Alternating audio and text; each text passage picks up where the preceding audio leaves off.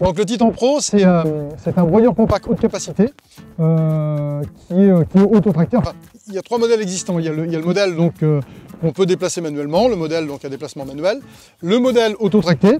Celui-ci est autotracté. Vous avez ici la, la poignée qui permet donc de le faire avancer et reculer. Vous voyez sur les vidéos, vous l'avez déjà vu. Et ce broyeur compact haute capacité, il a, il a le gros gros avantage d'être extra polyvalent. Je me posais la question il y a trois semaines en arrière en commençant les essais avec, de dire est-ce que ce serait pas vraiment le broyeur le, quelque part le plus polyvalent qu'on peut trouver euh, pour faire de l'élagage euh, du paysage. Je me pose la question parce que j'ai- passé pas mal de broyeurs, il y, a, il y a beaucoup de choses que je me demande, et, euh, et plus j'avance, plus je vois l'utilité des broyeurs compacts haute capacité. J'ai euh, j'ai bossé avec du broyeur sur châssis routier en lourd, avec du Cobra, avec du Saint-Hélène, avec du, Bugno, avec, euh, peu importe les marques, mais euh, avec, avec beaucoup de modèles. Et, et ce que je constate souvent, c'est qu'on a à amener le bois au broyeur, tandis que là, on amène le broyeur aux branches. Et ça, ça fait une grosse différence sur les chantiers en général.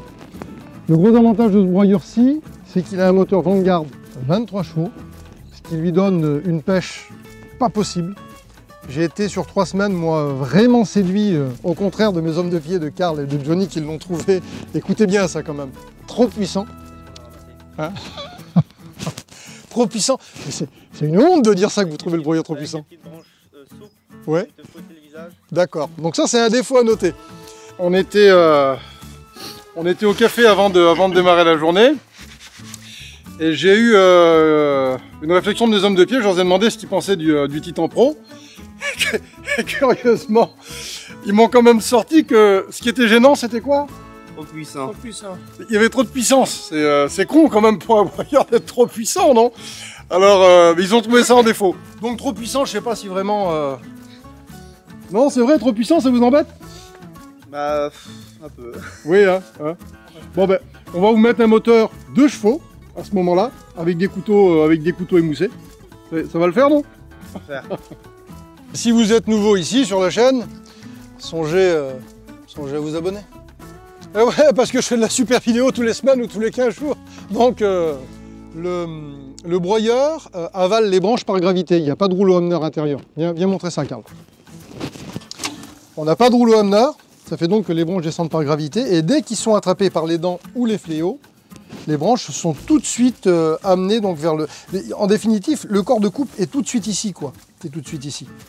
Et donc la branche, euh, a, je veux dire, elle est prise à, une, vitesse. euh, vraiment, il avale les branches vides. Vous, l'avez vu sur les, sur les vidéos précédentes, sur les, sur les images précédentes. Euh, Ce qui fait que quand on a de la longue branche, notamment du saule, qu'on la prend et qu'elle se redresse un petit peu, forcément. Alors après, on a des casques, casques. Alors, au lieu d'avoir les lunettes, les gars, faut mettre les visières c'est tout. hein. Et c'est tout.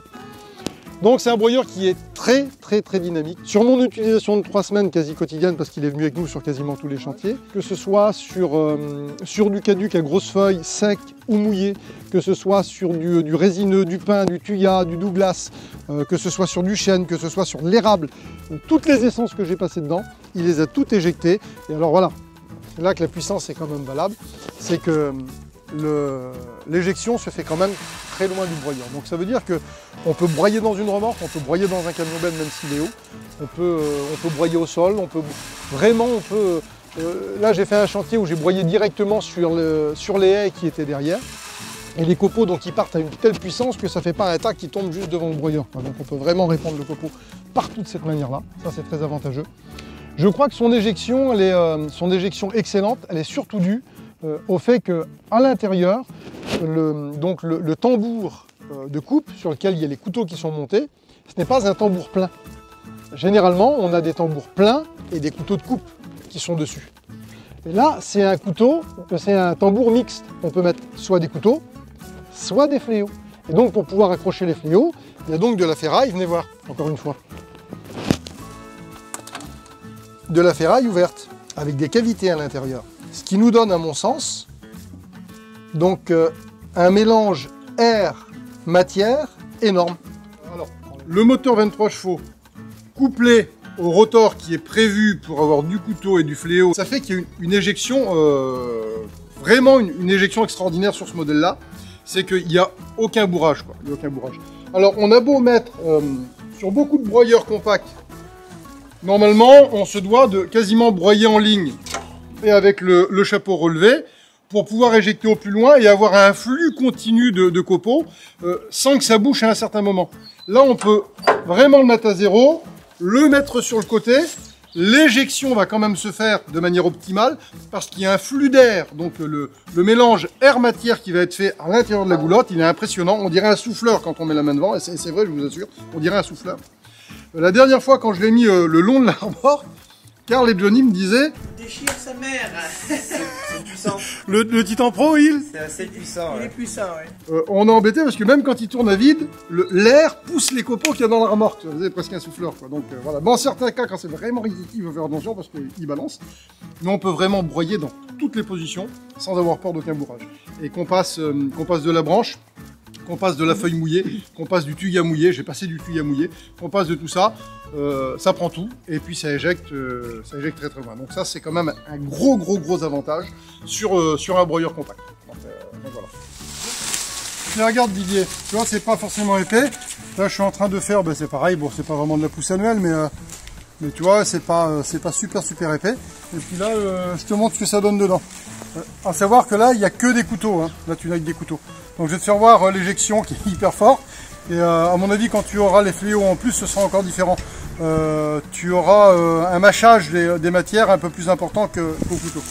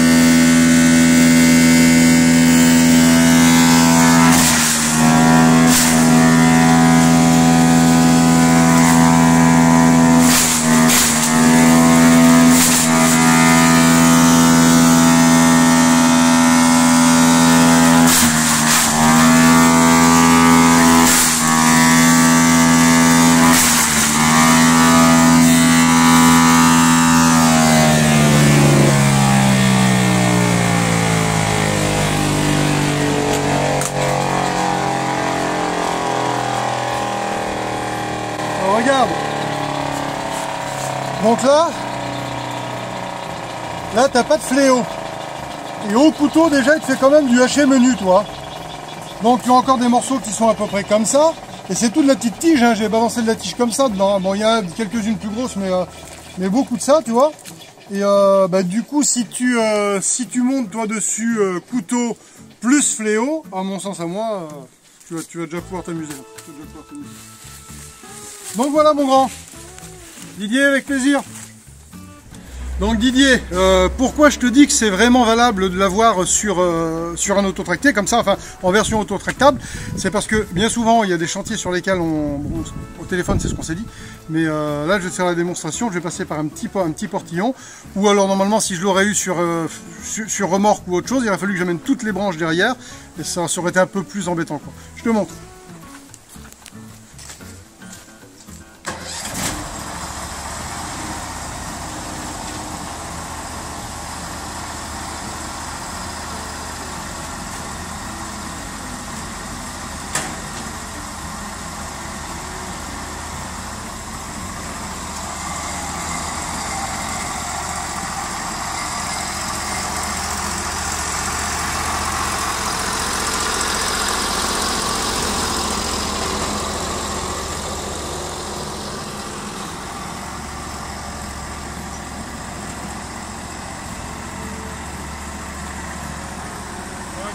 Prends-moi en sortant là-bas. Mets-toi dehors. Mets-toi dehors, directement.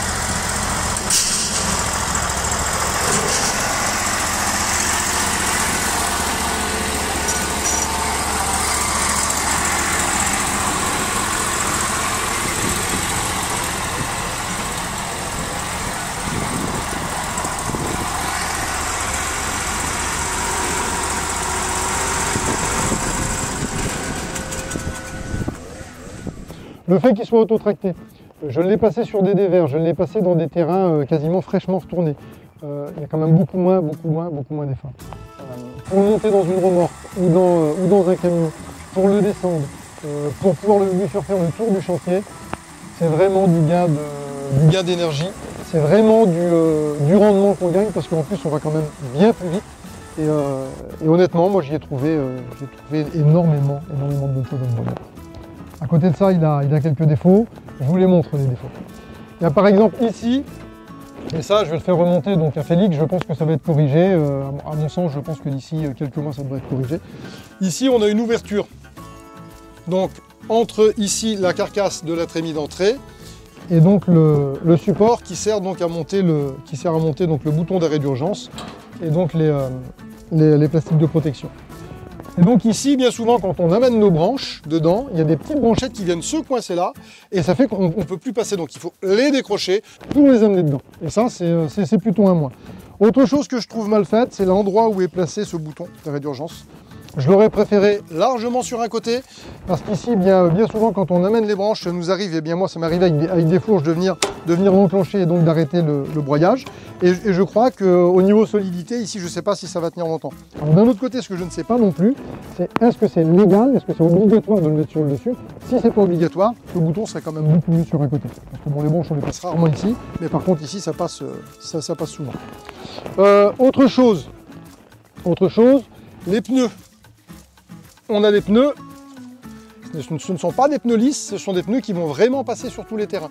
Donc quand j'utilise le Titan en auto-tracté, sur ce modèle-ci, euh, ces roues-là sont, vraiment bien dans la mesure où je passe dans les graviers, je passe dans les pelouses, sans, abîmer plus que ça, mais je passe aussi dans les terrains qui sont quand même hyper mous, et euh, ça c'est plutôt bien.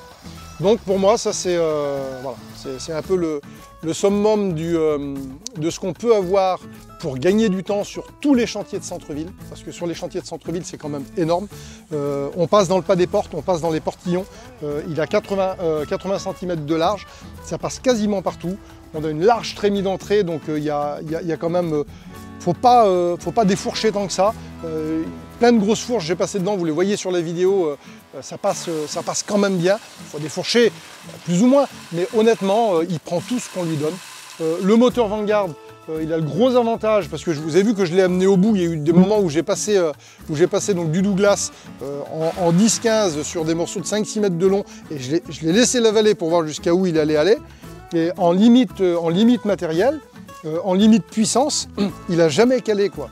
Il va ralentir, ralentir, ralentir, et à un moment on croit qu'il va caler et, il reprend. Le moteur Vanguard, il est, il est quand même super puissant là-dessus. Donc ça c'est euh, quand même très bien. Autre petite particularité, c'est aussi euh, cette petite tôle qui est ici. Ça peut paraître pas grand-chose. Filme à l'intérieur, Carl. Vous voyez là, je dévisse. Donc ça fait descendre la tôle.